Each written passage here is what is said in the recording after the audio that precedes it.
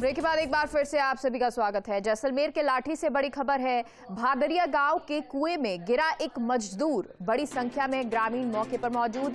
लाठी पुलिस मौके पर पहुँची, मजदूर को निकालने के प्रयास जारी हैं। महाराष्ट्र निवासी बताया जा रहा है, ये मजदूर।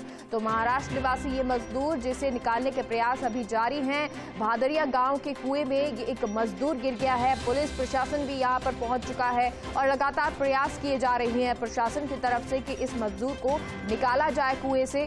बड़ी संख्या में ग्रामीण भी इस मौके पर मौजूद है। तस्वीरें लोग ले रहे हैं क्योंकि जो मजदूर गिरा है यहाँ पर, उसको निकालने के प्रयास प्रशासन की तरफ़ से किए जा रहे हैं।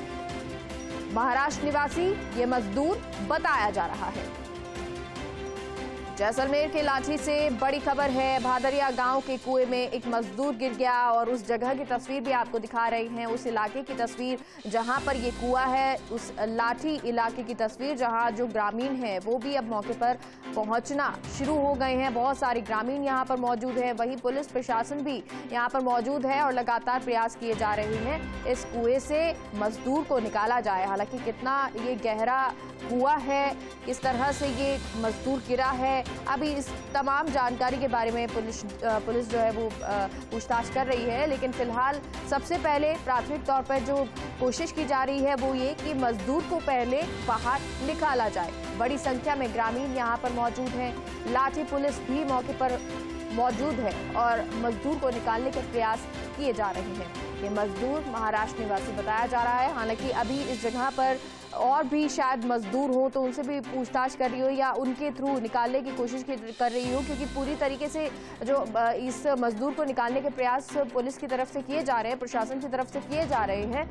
अब कितनी देर में, कितना कोशिशों के बाद ये मजदूर कुएँ से निकलता है, ये देखना होगा, क्योंकि कितना गहरा ये कुआ है, उस पर ये निर्भर करता है कि कैसे कोशिशें की जा रही होंगी, कितने प्रयास किए जा रहे होंगे।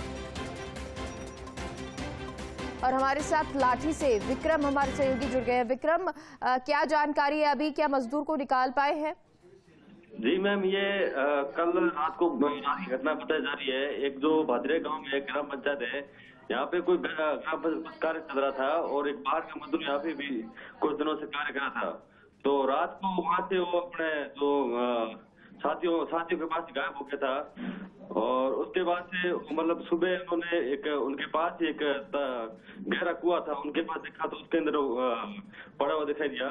और ग्रामीण ने इसकी सूचना जो लाठी पुलिस को दी। सूचना पर लाठी पुलिस वगैरह है और ग्रामीण और सरपंच मौके पर पहुँचे। हैं हम्म। और उन्होंने मजदूर को निकालने का प्रयास कर रहे हैं। अच्छा विक्रम कोई मजदूर के बारे में अभी जानकारी मिल पा रही है? कितना ये गहरा कुआ है और उससे क्या बातचीत या संपर्क हो पा रहा है मजदूर से? नहीं मैम अभी तो उनसे संपर्क नहीं हो पा रहा है। कि कुआ लगभग सौ डेढ़ सौ से फिट गहरा है। हम्म, कल कल रात की ये घटना है। उसके बाद जानकारी किस तरह से लगी? वहाँ पे जैसे जो अपने साथियों के पास थी मजदूर कल रात से गायब हो गया था। हम्म। वहाँ पे उन्होंने जो पास ही हुआ था वहाँ पर जाके देखा तो चप्पल वगैरह बाहर पड़ी हुई थी। तो उसके आधार पर उन्होंने आशंका जताई कि मजदूर इसके अंदर ही हो, हो सकता है। जी मैम। बहुत बहुत शुक्रिया विक्रम पूरी जानकारी के लिए।